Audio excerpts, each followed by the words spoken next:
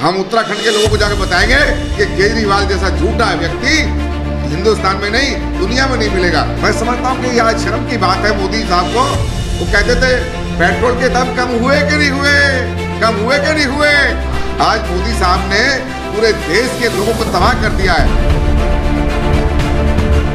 जिस तरह से दिल्ली में पानी को लेकर त्राही त्राही मची है, वहीं दूसरी ओर दिल्ली के मुख्यमंत्री अरविंद केजरीवाल ने अपने पहले चुनाव में दिल्ली की जनता को बीस हज़ार लीटर फ्री पानी देने का वादा किया है, लेकिन आज दिल्ली के अंदर पानी बिल्कुल नहीं आ रहा। तो क्या कहना चाहिए देखिए, ये सरकार पूरी तरह से फेलियर है।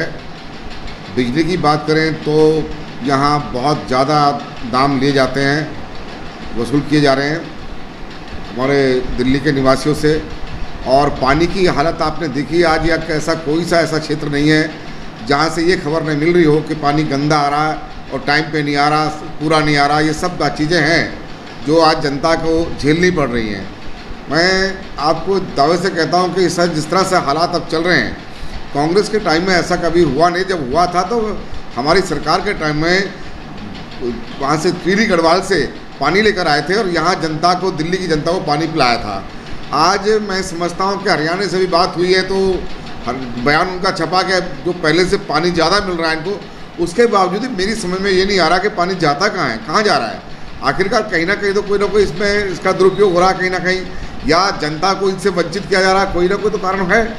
आज जो मैंने महिलाओं के बारे में सुना, विशेषकर सुंदर नगरी की जो महिलाएँ उनके दफ्तर पे गई, विधायक साहब के मंत्री जी महोदय के, और वहाँ जो उनको ये अल्फाज कहेंगे कि तुम शौचालय में जाके नहाओ ये इससे बड़ी शर्म की बात सुंदरनगरी के लिए सीमापुरी विधानसभा क्षेत्र के लिए कोई हो नहीं सकती है।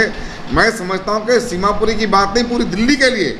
अगर ऐसी बात, ऐसी सोच सोच रखते हैं केजरीवाल साहब के कार्यकर्ता, आम आदमी पार्टी कार्यकर्ता तो मैं समझता हूँ कि इससे बड़ा घिनौनी बात कोई और हो नहीं सकती है, गिरी हुई बात नहीं हो सकती है।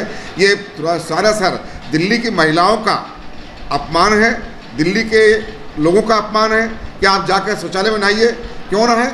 आपने बिजली और पानी के मुद्दे पर चुनाव जीता और आप बैठ करके यहाँ मुख्यमंत्री बन गए।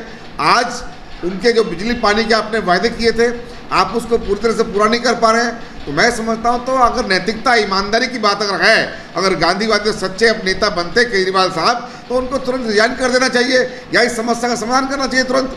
लेकिन आज जनता त्राही त्राही कर रही है। और उनके कान पर कोई जू तक नहीं रह रही है। लोगों को बहकाते हैं। हफ़्ते भर आना, दस दिन के बाद आना, पाँच दिन के बाद आना, ये सब ड्रामा चल रहा है दिल्ली में।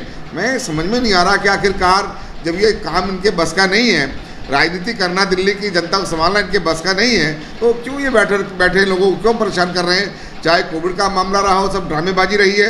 कहीं भी लोग इतना इतना परेशान रहे हैं कि आज उन बातों को याद करते हैं तो रोंगटे खड़े होते हैं। लोग भूखे मर गए हैं, आज इन्होंने सड़ा दिया। केंद्र सरकार से नाज लेकर के इन्होंने स्कूलों के अंदर टनों, कई सैकड़ों टन नाज इन्होंने, अनाज इन्होंने सड़ा दिया। जनता को नहीं बांटा टाइम पे, लोगों को नहीं मिला टाइम पे। कौन जिम्मेदार है इसका? मैं समझता हूँ कि ऐसे व्यक्ति को रिजाइन कर देना चाहिए। अगर शासन चलना बस की नहीं है तो भाई जनता को, दिल्ली को, जो पहले देख रहे थे, वो फिर देख लेंगे दिल्ली की जनता को। वो फिर आप आप संभालने का काम काज करना जानते हैं।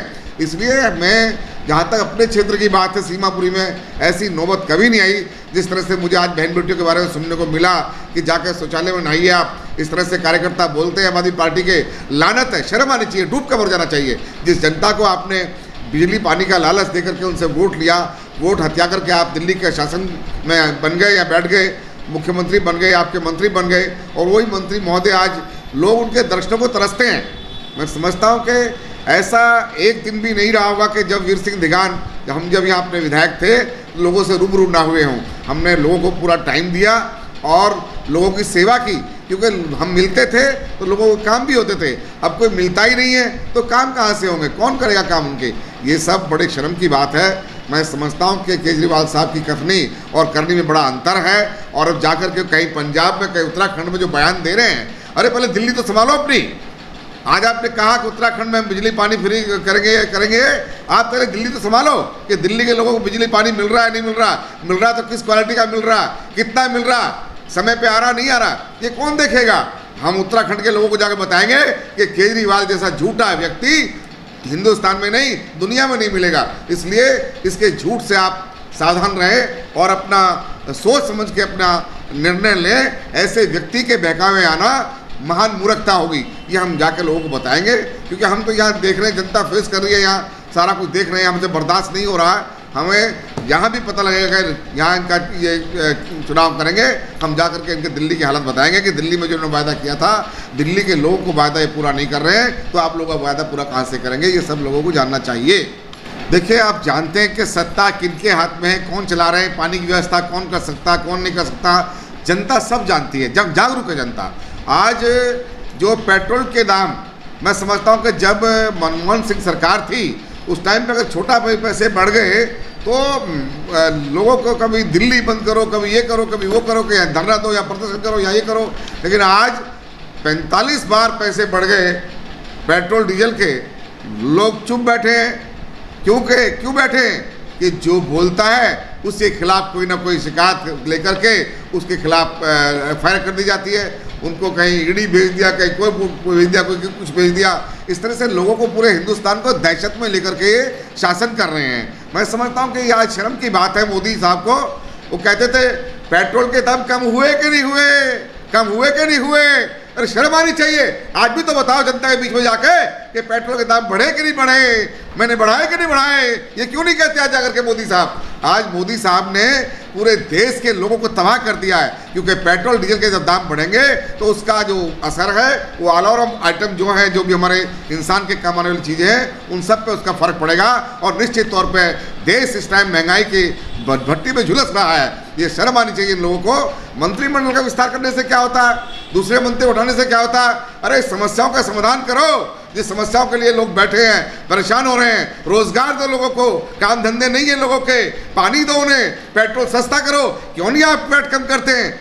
वैट क्यों नहीं कम करते हैं? अरे तीस पर, पैंतीस परसेंट तो आप केंद्र सरकार खा रही है। तीस परसेंट मोदी जी की अपने केजरीवाल जी खा रहे हैं। अगर आप वैट कम कर देंगे तो लोगों को राहत मिल जाएगी। क्यों नहीं करते हैं? लेकिन नहीं तो उन लोगों को लूटना है और बड़े बड़े घराने जो हैं, अडानी, अंबानी, उनके घर भरने हैं, उनके दोस्ताना करना है, उनसे चुनाव में पैसे लेने हैं। यही काम है सरकार का और कोई काम नहीं है इनका। मैं समझता हूँ कि दोनों आपस में नूरा कुश्ती ज़रूर कभी कभी लड़ लेते हैं, लेकिन मिल करके दोनों देश की जनता को बेवकूफ़ बना रहे हैं और ये हमारे लोगों को ठग रहे हैं, हमारे लोगों को परेशान कर रहे हैं। आज लोग बेहद परेशान हैं।